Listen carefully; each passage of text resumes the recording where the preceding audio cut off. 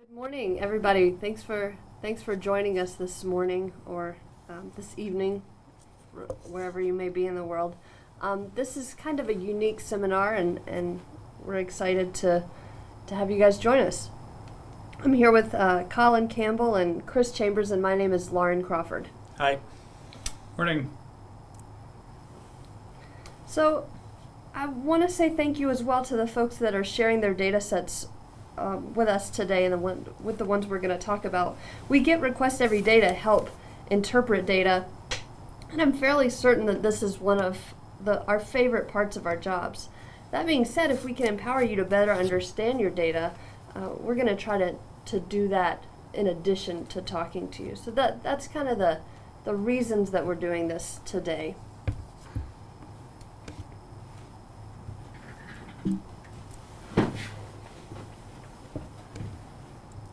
Oops, sorry. Anytime we do things live, you know we'll get something. So I'm pretty certain that the best person to discuss a soil moisture data set is the person collecting the data because you know so much more about what's going on with the sites. That being said, it's, it never hurts to have a third party kind of give you an opinion on what's going on with the data. In our case, we kind of bring some unique expertise and experience to the table, and, and that's kind of what we're hoping to share with you today. So, Colin and Chambers and I can sit around and talk about uh, soil moisture data all day, and we're certainly happy to do that. But this is a pretty informal seminar, and we really want you guys to participate. So, please speak up, please join the conversation. Tell us when you think we're wrong. Uh, speak up when you have a question. Use the chat feature. If that's not clear how to do that, um, maybe you could use the raise your hand feature and we'll try to address that at the same time that we're giving this presentation. But please use the chat feature and, and we'll we're going to answer these questions and bring in your comments as we're talking. We're not going to wait until the end.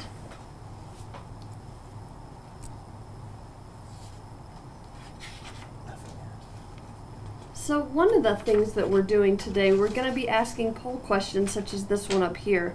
This question is particular um, to help us gauge where we should linger in the presentation and where areas that we might want to skip over. So, a poll question is going to pop up. Um, and we, we really want you guys to, to give us your feedback here so we know we know who we're talking to today. So we'll just take a, a couple of seconds to give you guys a chance to answer this poll question.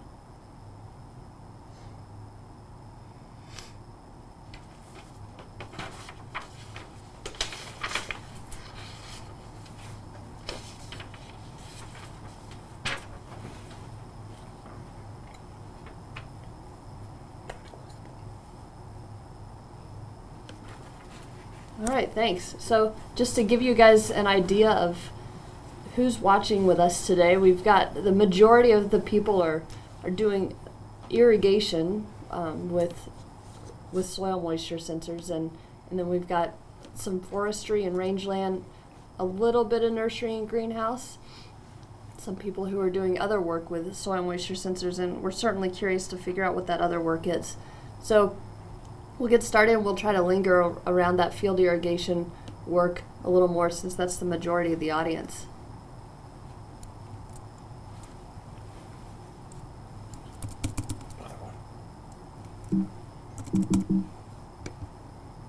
Okay.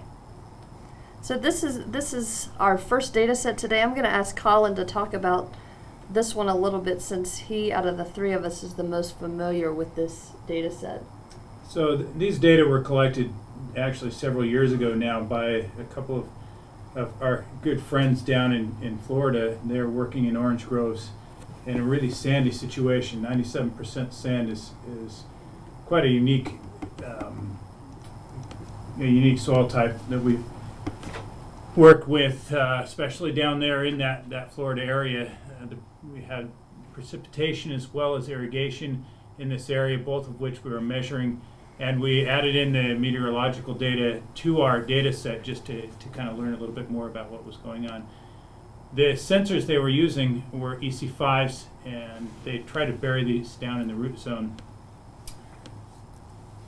And here are the data they, they collected. So we have sensors at 15, 30, 45, and 90 centimeters. Uh, and those are the, th the sensors we're going to focus on uh, just during our discussion. We have some rain coming in as well as irrigation events. And one of the things that, that we're looking at in, in this particular data set is some, some very fast movement of water down through the soil. It's quite an interesting data set because you can see that that immediately on, on a rain event or an irrigation event, we, we see almost all sensors responding.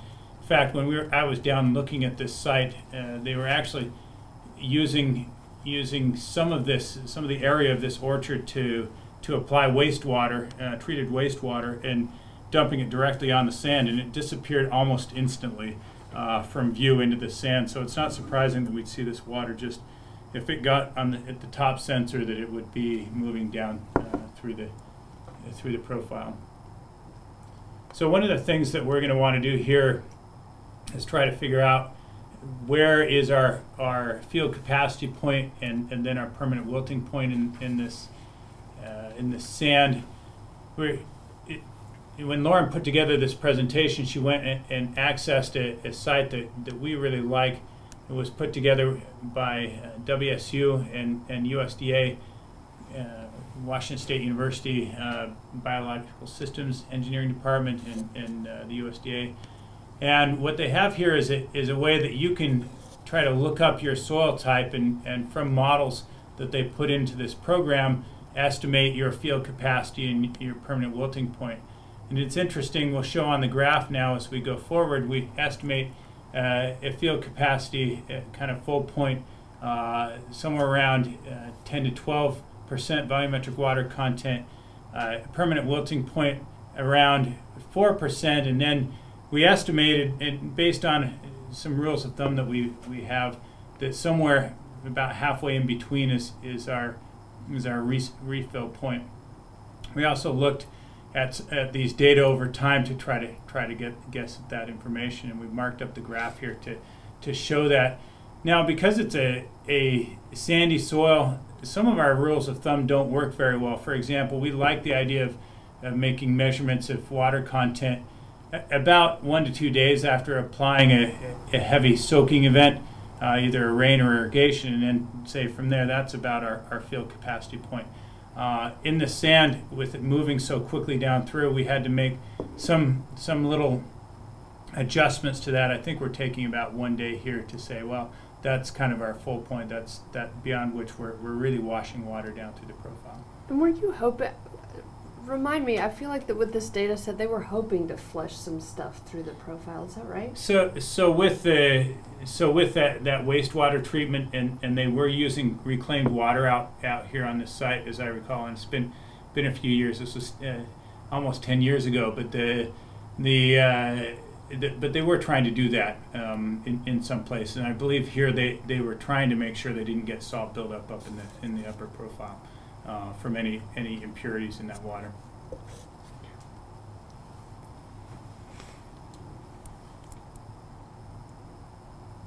So the, one of the things we get asked a lot uh, by by people who write you know email us is hey how can I tell if there's water moving past uh, my root zone water that, that really isn't accessible by the plant so we've circled that a little bit what you're seeing there, if you look at the at the 90 centimeter sensor, that's in red, and what you're seeing there is is increases in water content.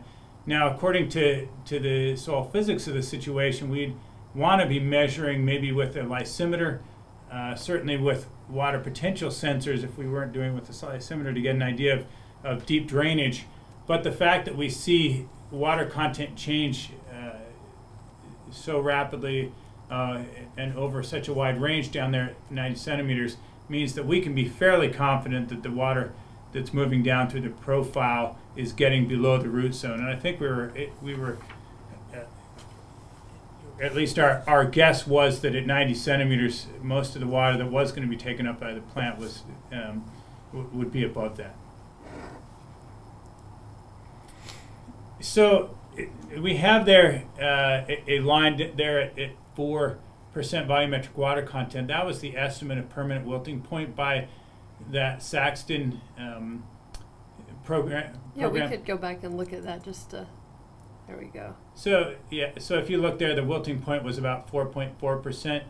Um, that line I drew on there actually was before I looked at the Saxton model again. This was was something that that Larry Parsons and VJ said to me, "Hey, this is that four percent line is is what we've always assumed to be permanent wilting points." So interesting, the k- kind of conventional wisdom matched up fairly well with with what what they had what what uh, Saxton put together that stress point is something that, that we never want to get to. Uh, it, it exists on our graph there just to give us an idea of, of where, if we're approaching that point, we're, we're going to be stressing our, our uh, citrus beyond what, what we'd like to. And to, to add to that a little bit, in talking to Gaylon Campbell about this, he says that it's uh, the Saxton and Rawls model and other models out there do a really good job of estimating permanent wilting point. And with that field capacity, that's a little bit harder to use a model to estimate because of of the effects of, of density and other organic matter, other parameters in the soil that are more difficult to incorporate in the models. So having those two used in, in conjunction, this is the I, I feel like the sorry. I feel like models like this are a great place to start when you're starting to look at the data and then once you're in actually collecting data, trying to pick those points using the real data is, is usually pretty effective. Did we want to say anything about this one or Let's, let's move on. Uh, I mean, that, I think we're reiterating some points you made. Okay, great. So we've got two additional data sets from citrus irrigation monitoring that we're gonna look at today. Um, in this case, the grower is using soil moisture sensors below the root zone to help them determine whether or not they're overwatering. So in the case we just looked at, they wanted to push a little bit of that water below the root zone because it was reclaimed water. And in this case, they're using a sensor below the root zone to help them see uh, how well they're doing with their irrigation strategy. So they're using the full and refill points, but they're refining those with that deep sensor. And these data sets are from an irrigation consultant in Florida who spends his days helping citrus and other growers schedule irrigation. So thanks for Kyle Kirkner with Water and Earth Sciences for sending these along. So I I love this data set and because it's just so nice and it illustrates the point so well how well you can do irrigation uh, once you once you start to mentally learn the the soil moisture and what the values mean. So let's just talk through this value. I don't know if you could see my mouse on on here. But this this blue line here is the soil moisture sensor in the root zone. And they're actually using this sensor to trigger an irrigation event. So you can see right when the sensor gets below this target zone, an irrigation event shown here in the green comes on. And this this line down here, this darker blue line, this is a sensor that was placed further below the root zone. So any water going down here is water that's lost for use by the plant. And you can see they're doing an incredible job of keeping their water in the root zone where the plant can use it. And it's only these times where they have a precip event, so these uh, blue bars are precipitation events compared to the irrigation events. Those are the only time where they get flow through the the root zone down down below, and that that's a really interesting uh, point for me to see that. So, uh, anytime you're you're doing really precise irrigation like this, you do have to be aware of salts building up in the soil. In this case, where they're monitoring precip and and the irrigation. And monitoring below, they're able to see that when when they are getting a buildup of salts, it is it is getting pushed down during these irrigation events. Lauren, do you know how they're triggering irrigation on this one? Are they using a I don't. Uh, that that's a great question for for Kyle, and I don't know that. I didn't have a chance to ask him, but I I wondered the same thing. So this is a another data set that Water and Earth Sciences sent over and and this is a case where the goal was to decrease the amount of time that the irrigation pump was on. And Kyle did a great job of, of showing here how many minutes the pump was on and the changes they made over time. So again, they used that sensor below the root zone to help them gauge how much water they were keeping in the root zone. So you can see here, the pump is on for 534 minutes. They've, they get a little spike below the root zone, so they keep dialing that back a little, and the, that spike in the root zone continues to go down until finally down here, at a, they've cut the time that the pump was on in over half, and that they're not getting any spikes down there below the root zone, which to me suggests that they they're keeping the majority of their irrigation water in the root zone for the plants to use, and they're they're minimizing the amount of time that that pump is on.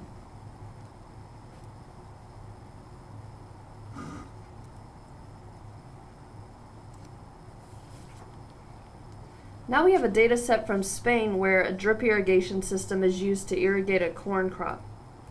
So the, reason we brought in this these drip irrigation data sets is because they really create some unique challenges for using soil moisture sensors to interpret uh, your irrigation and to manage your irrigation. When you have uh, a homogeneous front of water coming through, like you would with a, a flood irrigation, it, you, you, you have a little more flexibility on where you put the sensors. And so if you have three sensors at 10 centimeters depth in a flood irrigated regime, you can you have a really good chance of, of those sensors reading similar to each other. When you have a drip system, the the response of the sensors is going to be really dependent upon where they are with respect to the that bulb of water under the dripper. And so we're going to see in here a little bit how the location spatially uh, with regards to depth, plays a really important role in interpreting the data. So th this data set, we're going to look at a total of nine sensors. They have three different profiles in this system, and each in each of those profiles, we have a sensor at 15, 30, and 45 degree or 45 centimeters. So right here, we're looking at the data um, di displayed where all the sensors at the same depth are graphed together. So the next slide we'll look at is is where the sensors in the same profile are together. But what I wanted to show here was this effect of uh, we get calls a lot essentially saying, look, my sensors are installed at the same depth and they're reading differently, so the sensor must be broken. And a lot of times, really all that is is spatial variability. So at the at the 50, if we just look at this top graph here, we can see one of the sensors, the sensor in blue, has some major spikes where the other two don't. The other two might just be in a different location uh, to to with respect to the dripper. Alternatively, the dripper that was above this blue profile might have been malfunctioning, giving these weird spikes. We don't know, but what this is meant to convey is that you really need to understand where your sensors are with respect to this dripper to interpret the data. And but the, the other point is that we can also learn a lot more from having these sensors spatially located with respect to where the dripper is.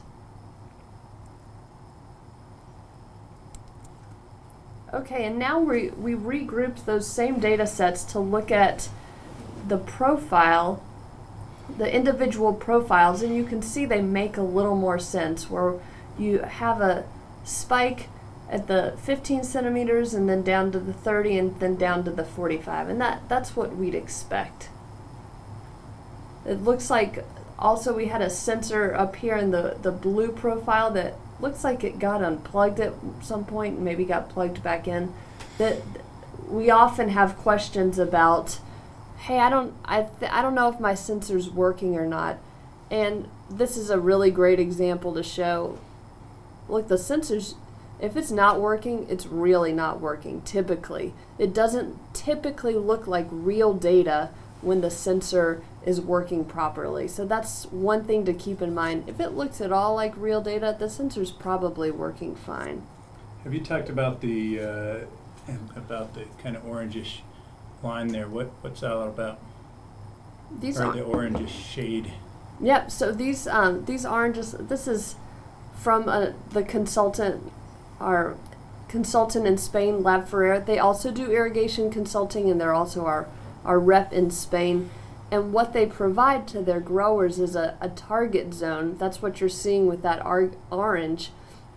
A target zone that they recommend the grower keep their soil moisture sensor uh, the the data from their soil moisture sensor in to to have the optimum irrigation so that you're not having you're not wasting water if that's the goal and you're optimizing growth So And- essentially, this was something similar to we t- when we talked about the right citrus, that they actually put just the shade in there to show you, show where they're trying to hit kind of the full and refill points. right yep and so they were they and i haven't i haven't worked with lab ferrer with this group in particular but typically they'll provide these and then the grower depending on what their strategy is they they try to stay in that target range or they don't. Sometimes sometimes they make a decision that is better for them to get out of that target range and that might be what we're seeing here early on in in 2014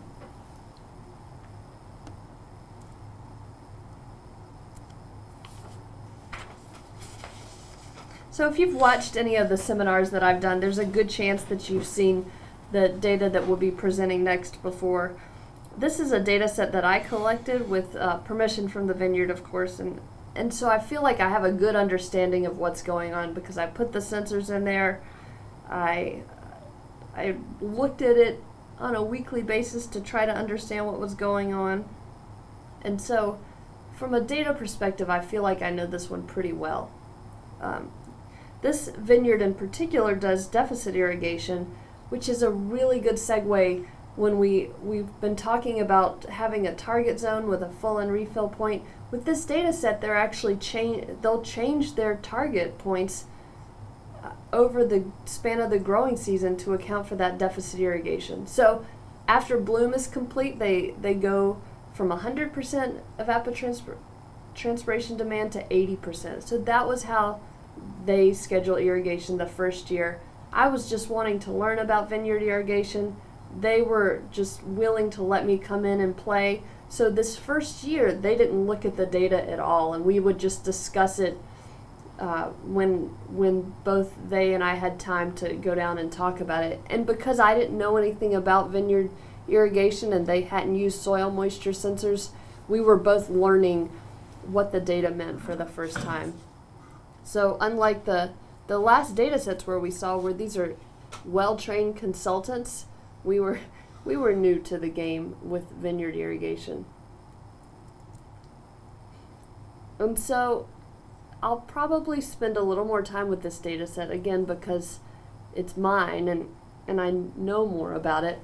But let me tell you a little bit about what we're looking at here. So this blue line is your water content value at two feet, and this purple line is your water content value at four feet. These black and green lines are your water potential at those same depths respectively. So the black is water potential at four feet, the green is water potential at two feet.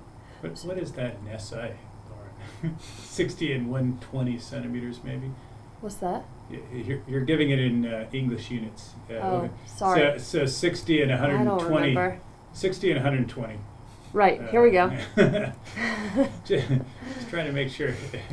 I did present this in Spain, and so I did had done all the conversions, but in my head, it's still it's Well, still to, in the, feet. to a vineyard here in the U.S., they, they're, they're going to talk about in feet. So Yeah. just to make sure everybody knows what we're talking about.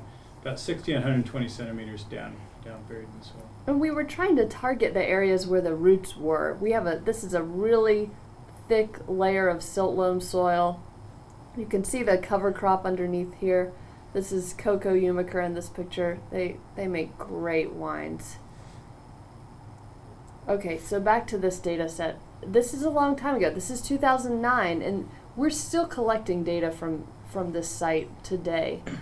But let's talk about early on. So we'll just talk about the water content here at the 60 and 120 centimeters, or 2 and 4 feet, whatever units you feel like you want to use. Um, what what Karl Umiker's goal was was to, uh, like I said, irrigate at a 100% evaporative demand until bloom was complete, which happened right about here, where you could see these drop offs. And then he he just went to 80%.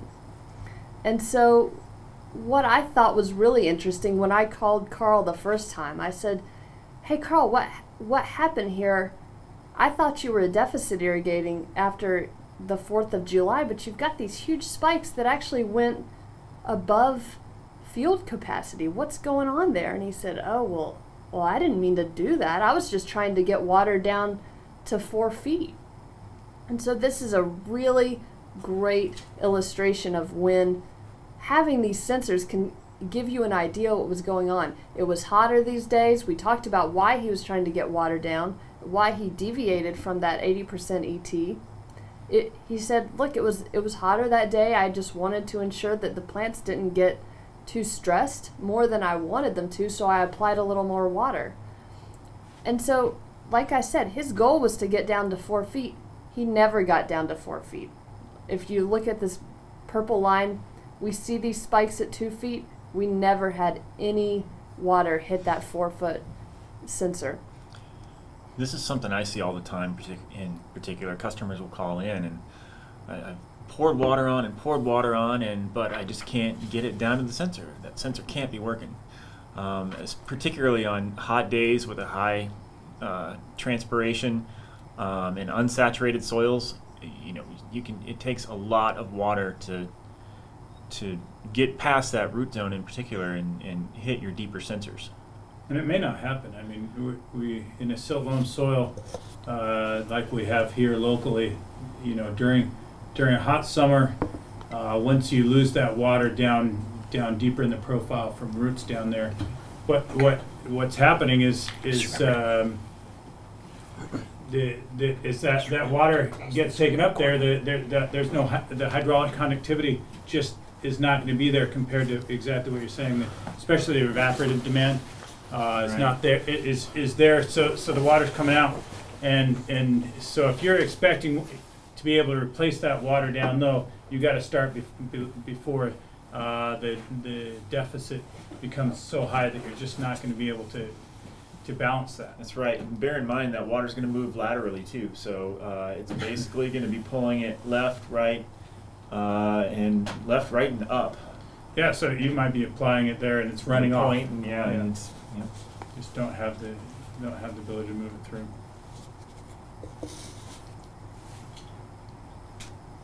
All right, let's see. All right, I want to talk a little more about this about this data set. Again, remember that Karl didn't look at the data the first year. He was using a standard ET method, and that's what we wanted. That's what everybody wanted because no one knew what the data was was going to tell us.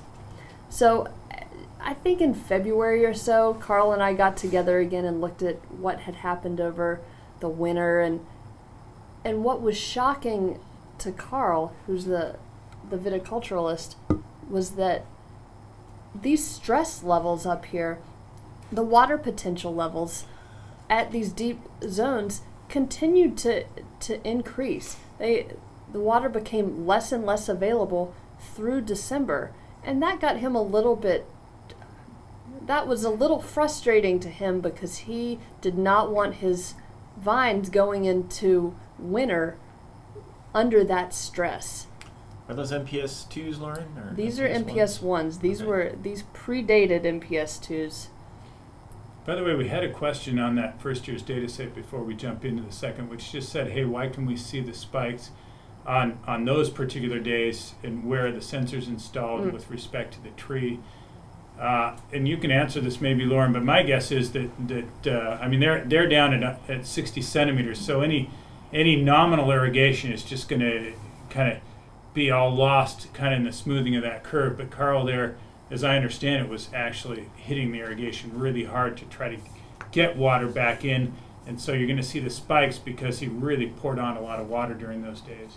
That's right. So, again, like Colin said, because of these depths being the way they were, if we had had a sensor at one foot, you probably would see more of the the spikes in irrigation. I think these were so deep that you just didn't see. He did, and uh, he was irrigating once a week during this uh, during 2009, and we never saw it when he was keeping at 80% ET.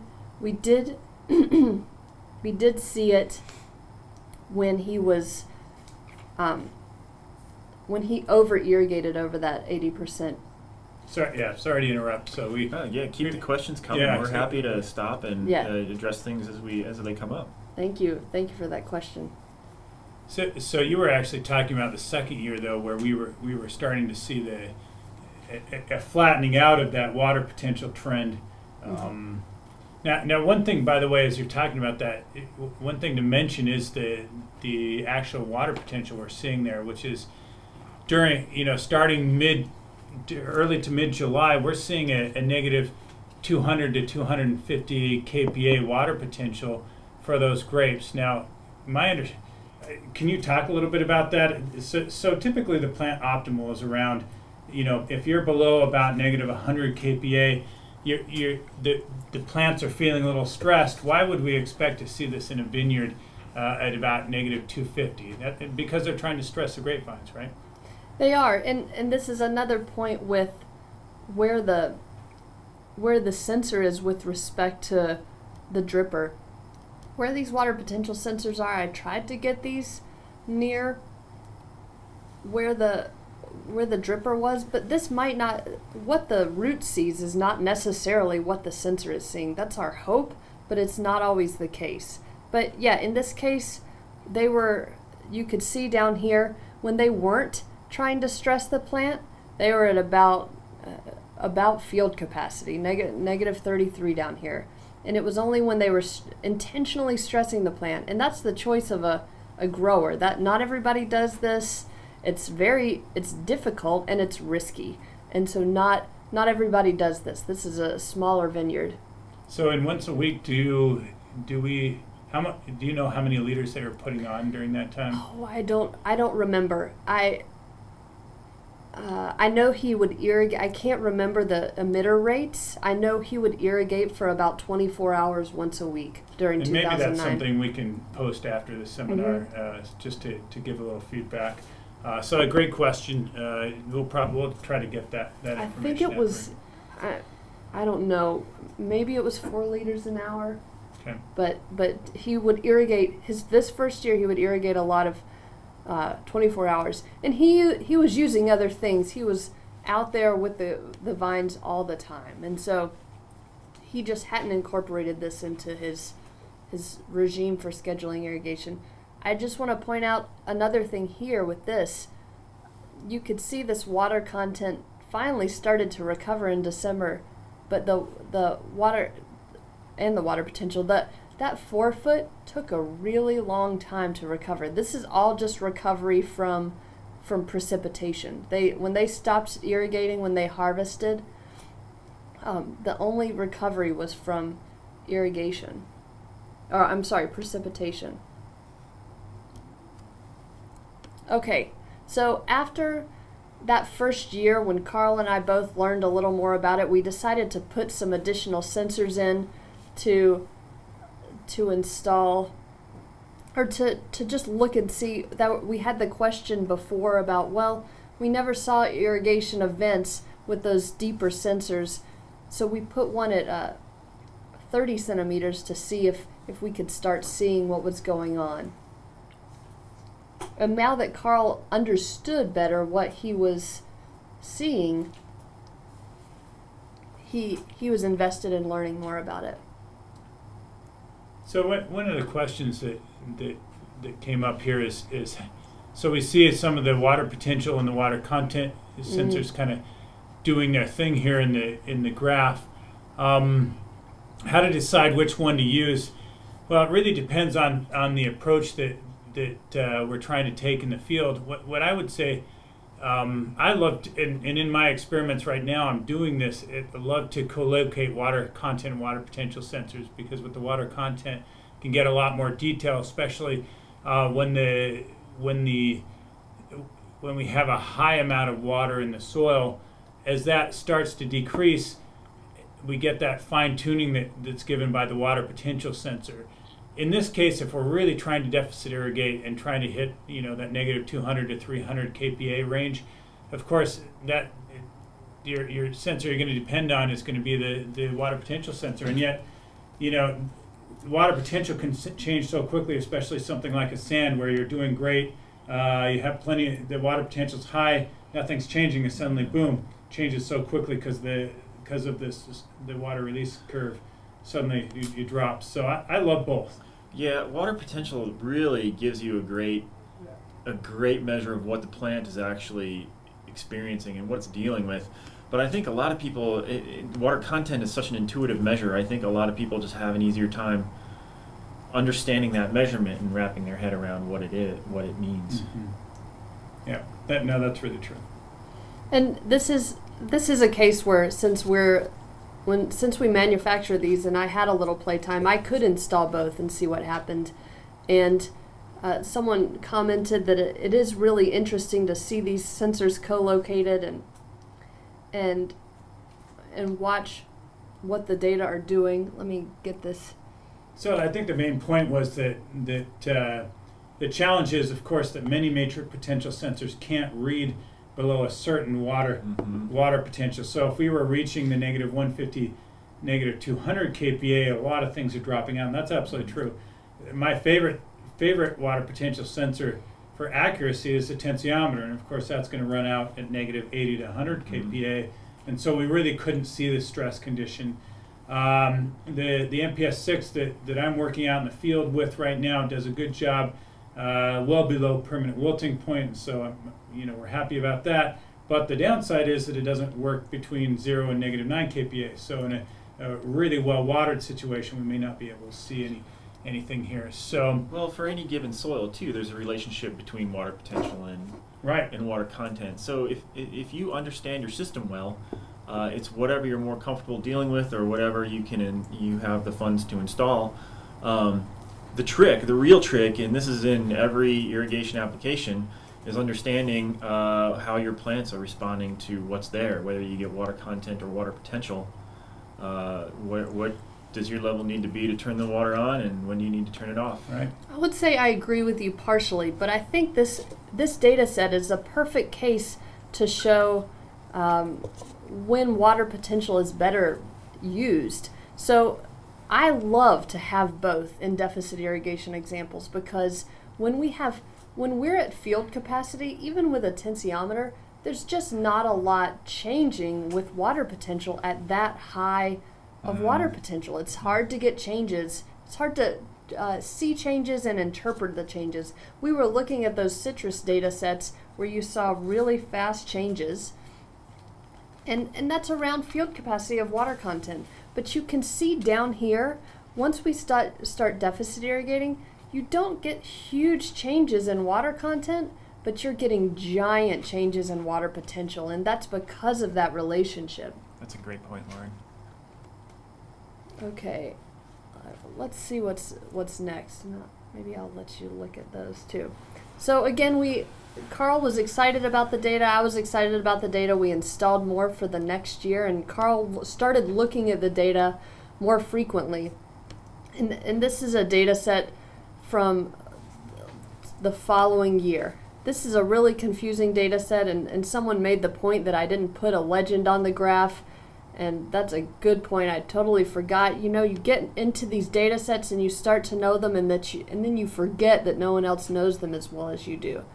So once uh, the point with this one essentially is that we put a sensor at one foot. Let's we're just going to be looking at water potential here. We put a water potential sensor at, at one foot or 30 centimeters, and and had another one at two two feet and four feet again, so 60 centimeters and 120 centimeters. And I got busy this year. Karl was happy and then I'd check in every once in a while and look at the data, and I, would call and say, "What's going on? You're irrigating so much. How you're doing a lot more than once a week." And this is a great case where the grower started to learn what the the data meant for. Um, he he's at the vineyard. He's seeing what the vines look like every day, and what he recognized was that if he could keep that one foot sensor uh, pretty wet that he could maintain these squiggly lines are kind of difficult to see in this but these are those two foot and four foot water potential lines these these two purple lines. And what he realized is if he irrigated more frequently but with less water he could keep the the stress levels of where his grape the grapevines roots were the the stress level very consistent and that that's what he did here. Another thing to notice is after after they harvested, he did a, a major irrigation event here to kind of bring his roots back to, to field capacity to get ready to go into the winter. So Karl was really happy with granted there's a lot that goes into to grapes and Karl just did a great presentation about all of the things that make a good good grape, and this was just one of I think his top ten list. But what he called me with at the end of the season with and said he was really happy about was his his levels his his sugar levels had gotten to where they were. They were just kind of sitting around waiting for everything to to get even better with the grapes. Whereas the year before they'd had extra growth, uh, they'd had extra vine growth because of those. He thought because of those spikes in the year where he didn't intend to give so much water, but but he did. So there are a couple of questions, and then we probably ought to move on to the WSU data set. Okay. The, the so a question on measurement interval. How or often were you reading out here? Do you remember? Mm, probably every hour. And so one of the comments, another comment was related to water potential and water content, and that, that people have a little more experience with the, the water content. So are we going to see kind of the stepwise drops in water potential across the day like a water content? And one of the reasons I say, well, I love both in this situation is because water content really tells you how much water is being used in the crop. And when you're an irrigation specialist, one of the big pieces you have to offer is tell people how much you've got to water, you know, replace during a day or during a week. And that's what a lot of the reports are going out to the growers that, that they're actually saying. So, and water potential doesn't say that. It says how you know how close you are to the line, but but a lot of people want to put up those those shaded regions and say stay in here and then watch the amount of water uh, changing. So so that's a great question and. And water potential is great. It acts like a, a thermometer in your house, telling you what range the plants are happy in, kind of like how happy you are with the temperature in your house. But they're not going to tell you how long to turn on your heater uh, to, to heat your house up to be more comfortable again. You can't tell how long to turn on your sprinkler with water potential. Uh, you can with water content. Another point was made that actually is a really good one. We do see a little more lag in the water potential uh, measurement uh, in, in, compared to the water content. Certainly in that in the first graph we were looking at, that's not typical, and, and that really may be a part of what the, the soil was doing. You saw in the in the wet up. Can you go back up to that graph really quick? Well, there is also an equilibrium process at work there. Right. That's yeah, exactly. So it, that I mean that's a function of the sensor, uh, a function of the sensor and a function of the soil. Yeah. Uh, whereas the water content sensors get an inst- instantaneous. It's like your flat, like a flash photo. Right. Where the water potential is kind of more of an integrated measure uh, that requires equilibration of the sensor with the soil. Yeah, no, that that that's exactly right. And I don't, you know, I don't know in this graph where we got the green line coming down, that's the water potential. The blue line on the bottom coming up, that's the water content. And obviously, the water content jumps up. You know, I mean, we're talking a full month.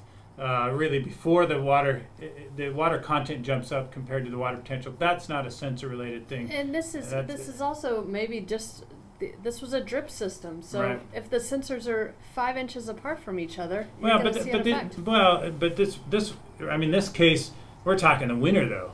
This Oh, was yeah. this was just Yeah, yeah. just Oh, yeah, yeah, yeah. precipitation recharge. So so you know I would say that you're exactly right, Chris. It's a, a function of soil more than it's a function of sensor. But but what would you expect for a water potential and water content sensor response? Water content instantaneous, water potential probably one one hour in the wet situation to you know five or six hours if you were coming you know if you were very dry and and, and, and stuff like that so Okay, we're actually going to skip to to another data set. We're going to skip around a little because Colin has a class to teach. Yeah. Well, we talked about this pretty extensively.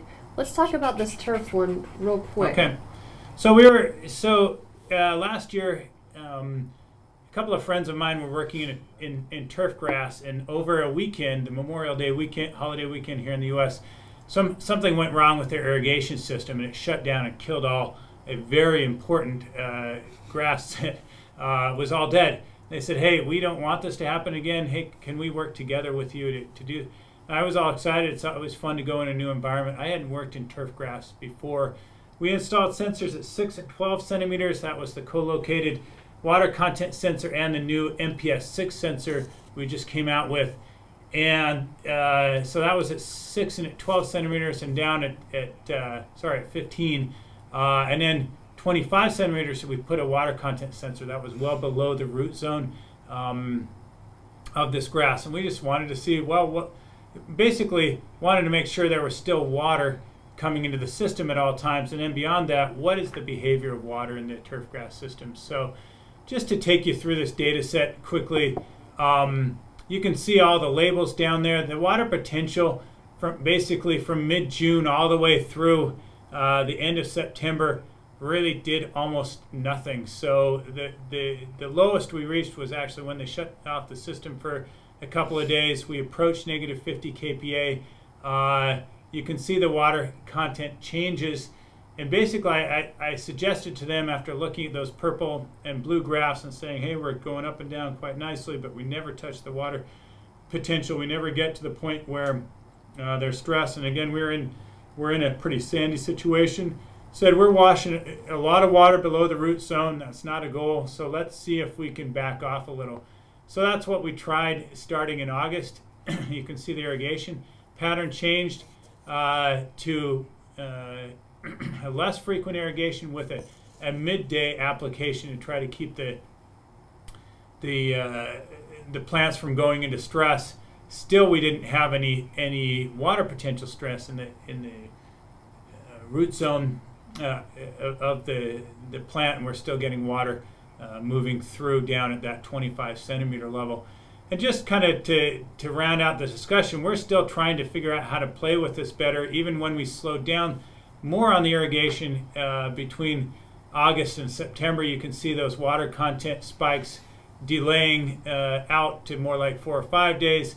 Still, we didn't. Nothing changed in terms of water potential. And finally, when we shut the system off in in October, um, you can see then we started to, to apply some stress, which is actually what you're trying to do in turf grass.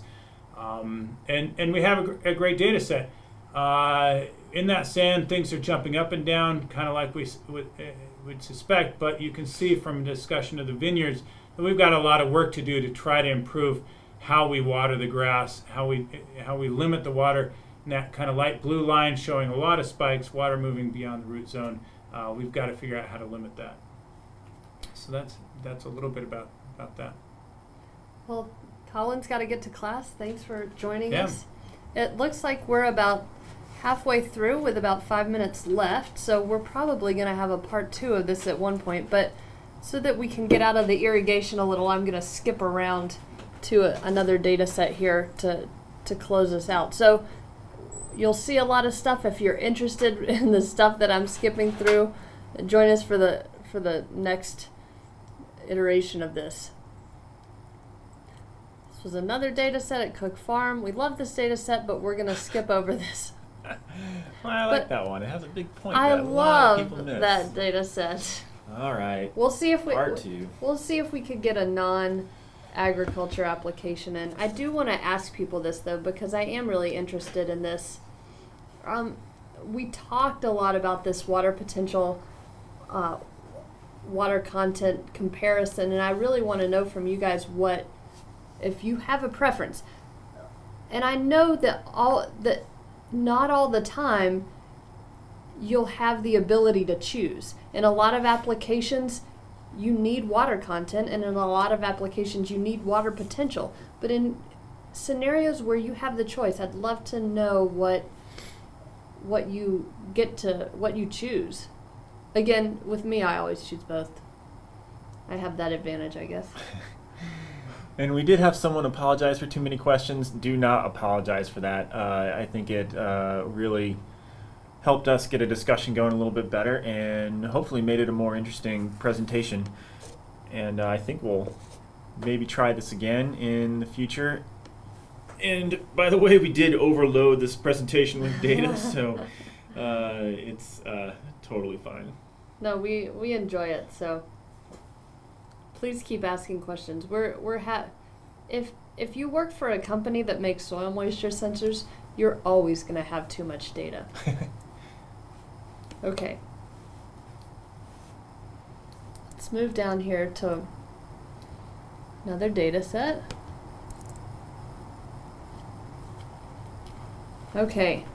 This I I talked to to James Leary about this data set yesterday for no, I guess it was 2 days and now, for over an hour and this is actually a site that I've I've visited and it's it's really beautiful. So aside from Hawaii being beautiful, th- this these data sets that James has collected are just phenomenal. So what we're going to look at are these andisols, these sites where he's uh, James manages invasive plant species on, on Maui, and uh, the kikuyu grass there is an invasive species, but it also outcompetes a, a more destructive invasive species called fireweed. And so, kikuyu grass may be able to be managed by adjusting stocking rates and grazing intensity of, uh, of the grazing animals, which can then manage fireweed without herbicides. And so the reason that James is monitoring soil moisture and temperature is to try to better understand kikuyu pr- productivity so that he can guide ranchers towards a more sustain towards more sustainable grazing practices. Give me just a second here.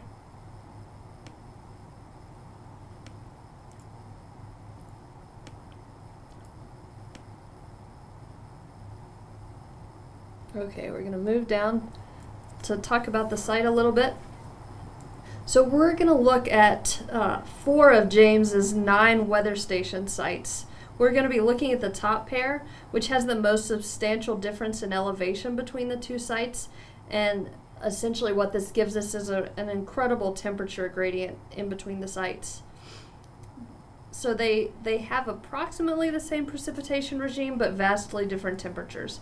And then we're going to look at this middle pair a little closer to, to kind of look at what a uh, th- these are large longer term data sets and this is going to show us what a drought in a natural system might look like for the soil moisture in an area which we just thought was really interesting. So again these are andisols in the in the lower elevations and so these are volcanic soils and they don't have a lot of structure. And the higher elevation site is a hydric soil so it's essentially staying staying saturated all the time. Okay, so this this is James's data set from the the two pairs that we talked about. This lower this lower soil moisture line here is that lower elevation site and the higher one is from the higher elevation and what James told me about this and if I repre- misrepresent this this is this is all me this is not at all James I, w- I was typing feverishly to try to capture everything that he said but it's still really fun to look at and to talk about, it, even if I get it wrong. So I, w- I was really curious as to why these were t- so different. There's about double the water content in these two soils. And James said at this higher elevation site, the temperature is really what's controlling productivity so that there's not a lot of uh, there's not as much growth and so there's a lot more water in the soil. And what james really likes about these data sets is that he can use these uh, he says these are more useful for him to help him understand the timing of precip events than a tipping bucket he said specific, specifically at these higher elevation sites, that there's a lot of fog contribution to to the water coming into the system, and the the tipping buckets just don't capture that really well. And what he's started to be able to do is look at an event within the hour, and he can essentially estimate from how large that event is in the soil moisture data he can estimate how many days he's going to have water available for plant growth. And he wanted me to point out here where, and we'll see this more, uh, more distinctly in the next data set that we look at, that when this soil moisture flatlines here, he said this is absolutely real. Once he gets about a little below this 20% value, productivity just shuts down.